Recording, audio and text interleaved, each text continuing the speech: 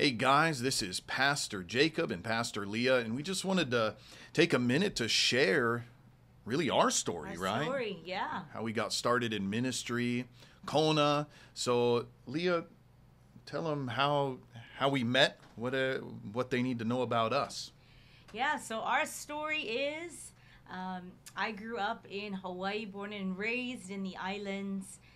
Uh, went to, started Kings on Molokai and we're there for several years. And then when I reached junior high, our family moved to Maui. And that's where I went to Kahaumanuho Christian School and I graduated high school from Kings wanted to pursue ministry, so Dr. Marocco encouraged anybody who wanted to go into the ministry. He'd say, Go to Christ for the nations. And so that's what I did. Uh, at 17 years old, I flew to Dallas, Texas, and went to Bible school. And um, that's where I met Jakob. Jakob is a military kid, so he Right. grew up all around the world, was actually born in Germany.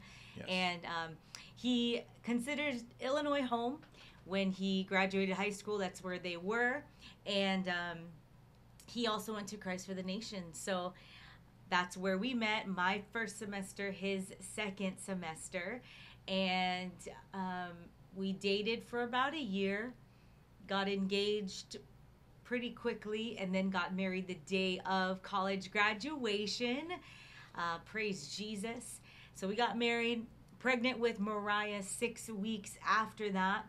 After that, we were asked to become senior pastors of a little country church in St. Elmo, Illinois. Right. And we pastored there for a good six, almost seven years. How old were we? 19 and 21 years old. We were babies, having babies, leading a church, and God was gracious. Yeah. Uh, we went there, the church was about 40 people.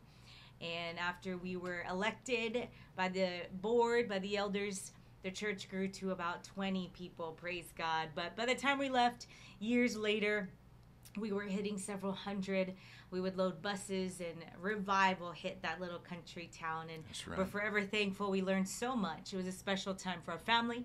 But then in um, about 2013, 2014, we moved back to Dallas, Texas. Our mentor, our pastor, Steve Hill, um, encouraged us. He's like, guys, it's time. Transition's here. So we moved into full time evangelism. And that was special. We traveled and ministered every weekend so many times. I mean, there was one month we ministered 21 times in the month of January That's one right. year. So, anyway, it was fun. It was a lot of just being on the road, but God was so good. We then were um, attending a church, Trinity Church in Cedar Hill, Texas. And the pastor there uh, saw what God was doing and just saw our fire and passion and asked Jakob if he would teach a class on a Wednesday night. And he did that and was faithful. Uh, after that, a few months later, Pastor Hennesy just asked, Would you guys um, come on to the Trinity staff and teach evangelism classes and be the house evangelists? And we said yes. So we did that about three, four years almost. And then in 2017, we felt the call of God to come back to the islands. And it was on our 10 year wedding anniversary that Jake and I took a trip, no kids. We just went to Oahu and we um, just played tourists together. And Dr. Marocco found out we were here and he asked if Jake would preach on Maui. So we flew from Honolulu to Maui, had an amazing time of ministry. But while we were on Maui, we um, felt God shifting our hearts and we uh, began to feel a draw back into the islands. Well, you had not not only were we feeling like a God tug, but you also had some spiritual warfare. Yeah, I did. The first night that we were on Maui in Kula, I had this demonic encounter, and the first night we were sleeping, and this presence came into the room and uh, pinned me on the bed and began to scream, These are my open doors, not yours. And I remember as a little girl growing up on Molokai, uh, the enemy would just paralyze me with fear, and I didn't want to sleep at night. I would beg my sisters, please, please, uh, stay awake with me. I'll do your chores, whatever it takes. I don't want to go to bed. I was afraid. I was full of fear. And, um, but when that demonic presence came into the room on Maui that night, I knew who I was then as a daughter of the Lord and I just began to laugh. I'm, I started laughing at the enemy, like, who do you think you are? And this demon could not stand to hear uh, my laughter because he knew that I had begun to carry authority. Right. And so this demonic presence shrunk back to the corner of the room. and held its ears as I laughed, but then it continued to scream, These are my open doors, not yours. And I said, Well, I guess I'm here now, so they're mine now. So in the name of Jesus, get out. And this demon shot out of the room. I woke up and I'm like, hey, the enemy knows that we're here in the islands and he's ticked. And so, um, one confirmation after another. We drove to Hana, all around Maui and Kihei at a farmer's market. I was um, buying some souvenirs from Ryan Gabriel before we left home. And this old Filipino auntie came up to me and she said, The Lord is calling you home and begin to prophesy. And I'm standing there weeping. Jake comes and finds me. He's like, Why? What's I'd, going on? I'd gone to get some cash. I mean, it was hilarious. Like, we found like a little bracelet we liked and I, I had to go to the atm next door just getting money i come back and leah's there just like crying and i'm like yeah. what happened like is this lady mean to you or something and but she's just she's like God is calling your wife back home. You need to tell him what kind of home do you want. You yeah, need to yeah, lay out the details and uh, just neat God moments like that all over during those 10 days we were here. Yeah, so we called Dr. Marocco, and he was actually in Ukraine. Ukraine with Benny Hinn ministering, and uh, we just said, "Hey, doctor, we don't know if it's even possible, but we would like to move back to Maui and serve kings and you and the vision." And uh, he's he called us back later, and he said. Uh, would you like to go anywhere else in the United States? And we said, no, doctor, we know it's Maui and we know it's to serve alongside you. And he said, okay.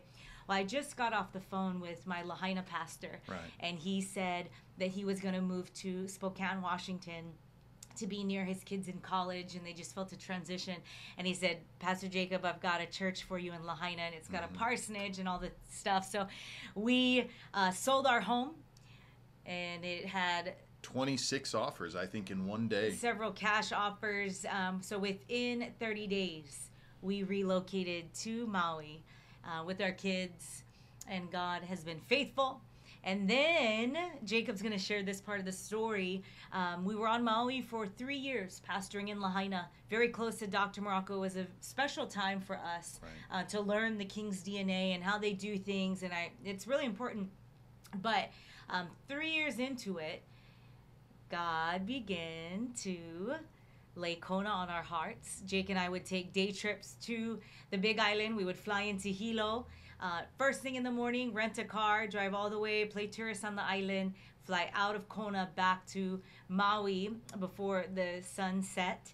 And um, yeah, God began a work in our hearts for this island. So yeah. tell us. Yeah, I mean, we we began coming over not really looking to scout out a place for a church, but just to enjoy and explore yeah. the island. And so, um, yeah, so Dr. Marocco came to the staff one day on Maui and said, I have a desire in my heart. One of the things that you'll hear him say very often is that um, he doesn't often have like an audible voice of the Lord or you know even even a prophetic word, but God will just birth a desire. And he believes, and I've come to truly believe as well, that God gives us the desires of our heart, that he'll literally plant his desires. So he comes and he says, I have a desire for the big island. And uh, we've got churches in all of the islands virtually, but uh, Kona. Uh, and and the Big Island's mostly been untouched because Dr. Marocco had friends that were here on the Big Island, didn't want to undermine their ministry. But around the same time, both of his friends in Kona and Hilo retired, were no longer in the area. So uh, he sent us over. And uh, so we started looking at buildings. We spent one day in Hilo. We spent one day in Kona looking at buildings. And uh, when we were driving around Hilo, we're like, there's churches everywhere, yeah, which yeah, is yeah. which is great. But uh, we come to Kona, and I think on that drive we saw the Catholic Church and not a single other church building. We've come to realize there are a few, but uh, but very underchurched. And so um, we, I remember I called Dr. Marocco the next morning and I said, Doctor, I feel like it's Kona. Yeah. And, uh, and, and this one kind of threw him for a loop. He sent us over to scout out locations, but I told him, I said, I, I really feel like it's us. I feel like we're supposed to uh, start this work. And he immediately said, No, it's not you. I can't lose you on Maui. And uh, and I'm like, okay, doctor, whatever you say, you know, and and just kind of left it at that. Right, right. But I think it was like that was a I don't know, what was that, a, a, a, Sunday or a Monday. By the next Wednesday, I remember it was the very next service that we had. He called me into his office. He says, Pastor Jakob, are you serious about going to the Big Island?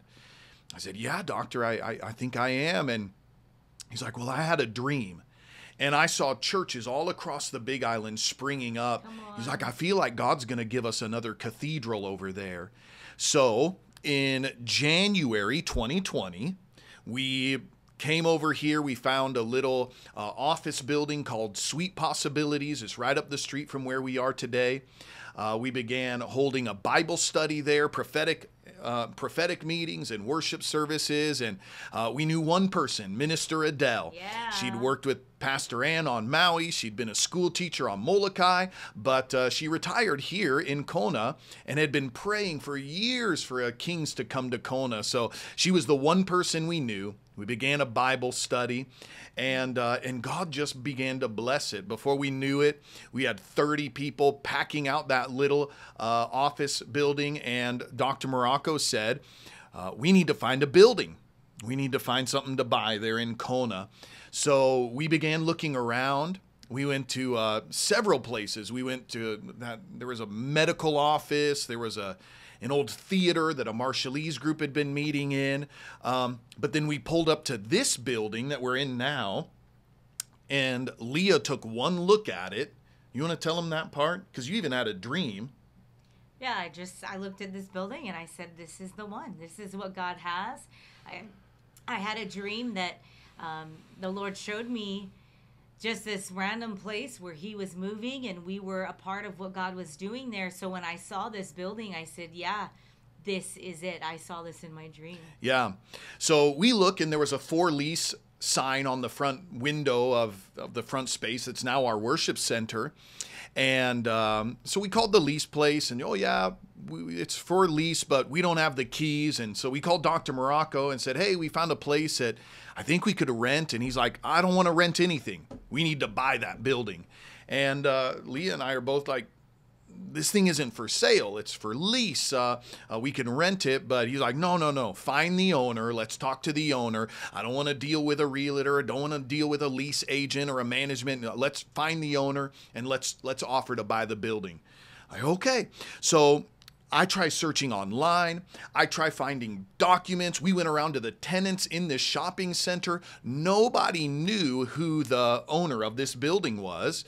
Um, we even sent Minister Adele up to the planning department, into the county office to, you know, find a name, find anything with this, uh, you know, with a company or anything. We could not find it for anything. Well, one night we came, we flew flew over for our Bible study, and we go to sleep in the hotel, and I have a dream, and in the dream uh, the pastor that we worked under in Dallas there for a number of years, he comes to me in the dream and says, You will buy that building out of Coconut Grove. And uh, I wake up and I tell Leah, Leah, I had this crazy dream. Pastor Jim came to me, said, We're going to buy this building out of Coconut Grove. Yeah. And she's like, You know where Coconut Grove is, right? and I didn't. Uh, she's like, "Oh, it's it's this place right across the street, this uh, um, sand volleyball where we like to go. That they've got that coffee place we like." And I'm like, "Let's go get coffee." So we go and we order a coffee, and I just asked the girl behind the counter. Um, this may sound crazy, but do you have any idea who owns the King Kamehameha shopping center that's right down the road? And she says, Yes. The same family that owns this coffee shop owns that shopping center. In fact, that girl, she still works there. My daughter now has a job at that coffee shop, and she still remembers the day that we walked in there and asked her that question. Within an hour, we have the owner on the phone and tell him we'd like to buy that shopping center. Uh, he makes a call to his brother and some other family that were in that investment together. And uh, within an hour, we were standing in this hallway, and this is wild, you guys. The owner of this building was a man from South Korea. He had gotten stuck here because of the COVID lockdowns. He wasn't allowed to fly back to his hometown.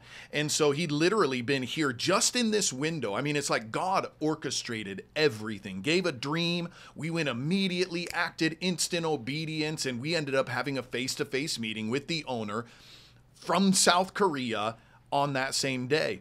And, uh, and so we just begin talking to him. We want to buy your building. And he's looking at us like we're crazy. Who are these kids? And uh, um, we tell him, Leah tells him, we want to start a church here. And he's looking at us. He takes out his phone and begins going through pictures and then shows us an old like black and white looking picture it's of living room picture. It's a it's a family sitting in a living room and come to find out his mom was one of the founding intercessors for Dr. Yonggi Cho's church in South Korea. Right. And so he's a spirit filled believer. His whole family is, uh, you know, they're trailblazers and church planters. And so when he heard, and and, and you might know, Kings has a history with uh, with Dr. Cho. Dr. Marocco has been on his board for, for many Decades, years now. Yeah. And uh, so that's a relationship that goes way back. So the moment that he heard who we were and what Come we planned on. on doing, he immediately says, I'll sell you this building. That's right. He was excited to do so. And so um, we put in an offer.